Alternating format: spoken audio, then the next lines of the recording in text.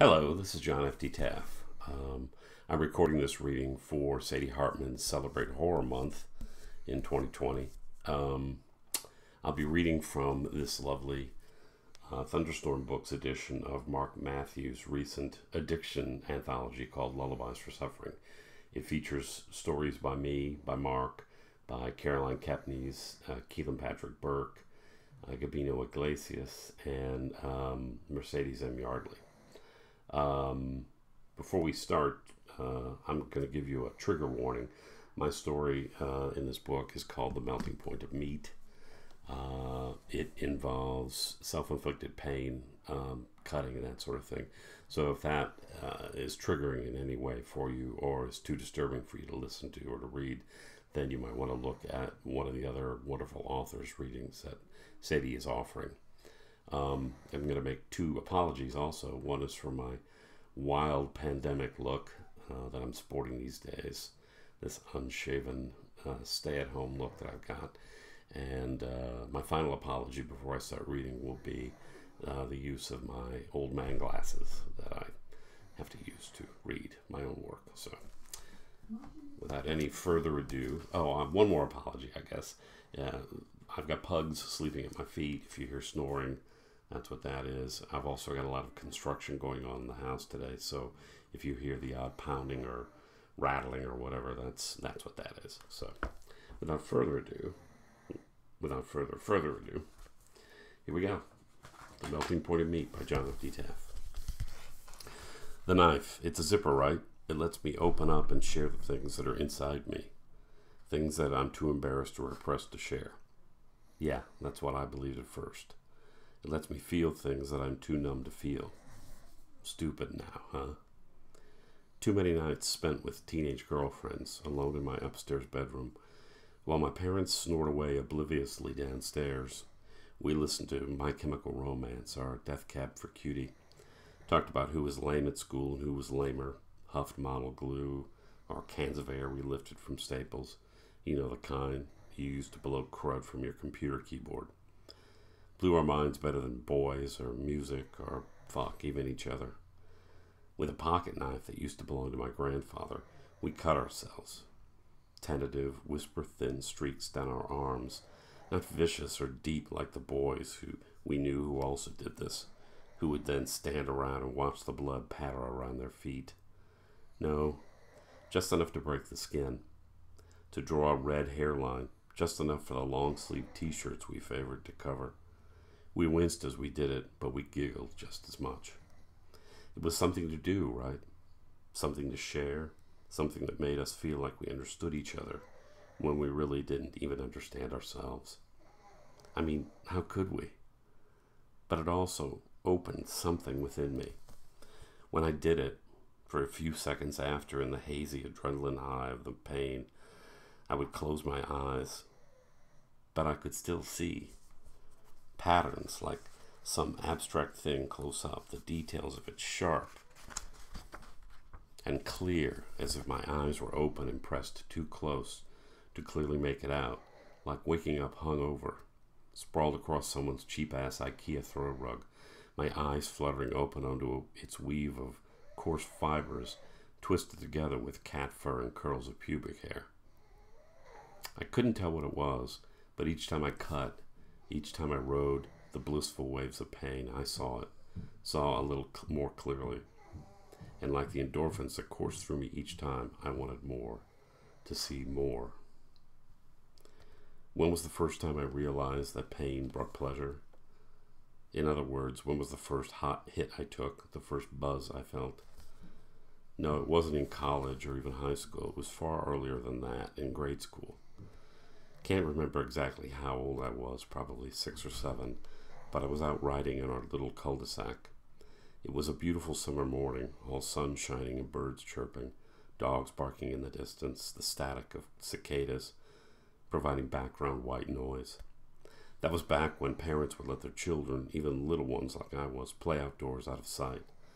I think my mom was in the backyard hanging clothes on the line, or more than likely on the phone with one of her cronies seated at the kitchen table, twirling the cord and smoking Pall Malls, one after the other, crushing them out in the chipped, Lake of the Ozarks ashtray, bitching about my dad or having to deal with me during the summer break. So there I was, racing all by myself. Don't remember having any friends with me that day, round and round the center island of our little pocket street, on a bike or tricycle, maybe. I can't precisely remember. Probably a big wheel, you know. The pink Barbie version my parents bought for me instead of the regular model with the red body, yellow fork, and black wheel. Pink wheels. Yeah, whatever. So I was out riding and I took the curve too sharp and too fast. Ended up wiping out spectacularly. Spilled ass over tea kettle into the street, sliding across the concrete on my belly as if I'd just successfully stolen a base. My little top protected my belly, but my short pants, probably a matching Garanimals outfit, knowing my mom, didn't offer much protection for my bare legs. I lay there for a minute, dazed. When I rolled over, I saw the big wheel canted up onto the curb like a shipwreck, one of the rear wheels still turning slowly. Then I looked at my legs.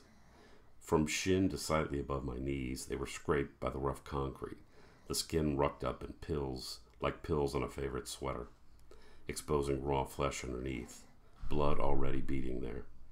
I remember staring at it for a long time, trying to make sense of it. Not what had happened, I knew that. I wrecked, wiped out, No, I mean the why of what I saw there. My scraped legs stretched before me. I could already feel the pain, the hot stinging of all that abraded skin. But I also felt, over it, or under it, pleasure, the tingling of something warm and enjoyable. Enjoyable, yeah. Something that felt distinctly good, like my mother brushing my hair out or lazing in the sun by the side of a pool. It was comforting. Then I lay back, staring at the blood on my legs, and had that feeling, that epiphany, that you don't often get in life of putting two things together and getting the larger picture. Right there, sprawled in the middle of the street, I acted on that. I wanted more. With the same ache I felt when my mother snapped the television off mid cartoon. And it was all good until I heard something that I eventually re- realized was my mother screaming. She found me there, lying belly down in the street in that sort of upward dog yoga pose. Not that anyone had ever heard of that back then dragging my body across the rough concrete, sanding the skin away, leaving a pale line of blood in my wake. As she tells the story, my eyes were closed, my face almost transported into rapture. She thought, still thinks, it was something sexual, something unseemly precocious in nature. Me humping the concrete and leaving what looked like a smear of menstrual blood. And in front of the neighbors and all. It was nothing of the sort, though it was entirely about pleasure and that indistinct, wholly malleable line between pleasure and pain, but mostly about my need for both. There were no sororities for me in college, no ma'am, even though my mother was a legacy at one of the biggest on campus. I crushed my mom in a whole lot of ways, I'm sure, but I never saw her more defeated than when I told her that there was no way I'd be rushing her sorority. There'd be no dressing in whatever passed as the latest in fashion, no batting my eyes at the frat guys trying to ply me with beer to get into my panties. No sitting around having tea parties with flowery cups and linen doilies. Whatever. I obviously had no idea what went on in sororities and still don't and don't care. My mom was disappointed though, and I carried that in a backpack of other disappointments I lugged with me all the time, everywhere. No, no sororities. I went into the dorms where I settled in with a roommate from Missouri who introduced me to her profound sleep apnea. I, in turn, introduced her to my own brand of casual bisexuality. Within a month or two, uh, within a month or so, we had our own little band of girls, kind of like our own sorority. We hung out, we listened to Nine Inch Nails and Azure Swan, we dyed our hair ombres of dark turquoise and violet and garish pink, painted our nails black, wore ripped fishnet stockings and skirts that barely covered our asses, and we cut ourselves. As with all the other stuff, I showed them how. None of them had ever done it before. None of them had ever eaten pussy either. But I showed them that too. By then, though, I had stopped believing that the knife was a zipper. I had changed the focus of why I did what I did.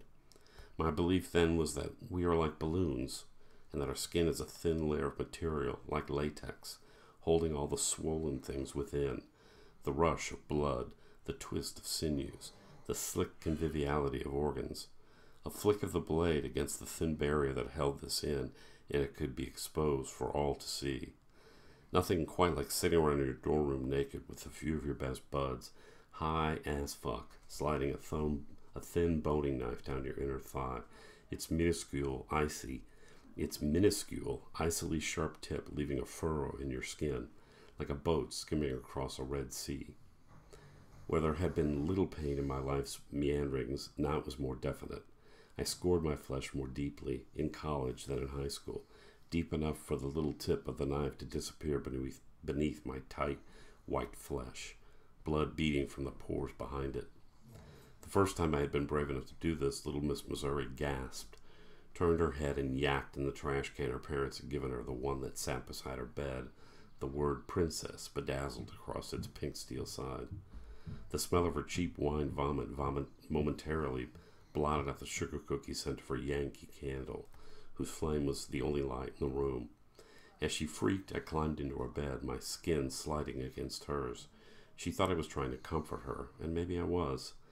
But as one hand went to her face to caress her cheeks and brush the tears away to shush her trembling so that no one would batter at her door wondering what was wrong, the other slid the knife slowly, gently along the, the side of her breast.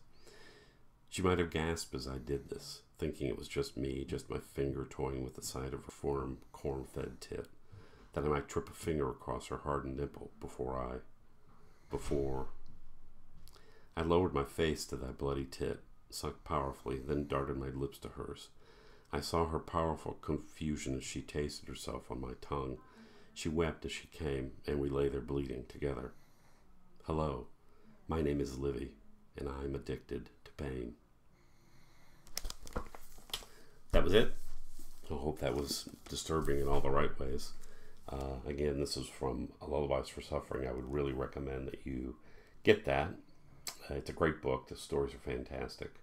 Um, I have a uh, novella that's going to be set in the timeline of my uh, four part book called The Fearing, uh, which is available on Amazon. The new one is called The Fearing Blood and Brimstone. It'll be available sometime uh, late this summer, I think. Uh, it's also being made into an RPG role game. So uh, you can follow me on Twitter at John F. D. Taff. And thanks for listening. Hope you enjoyed it.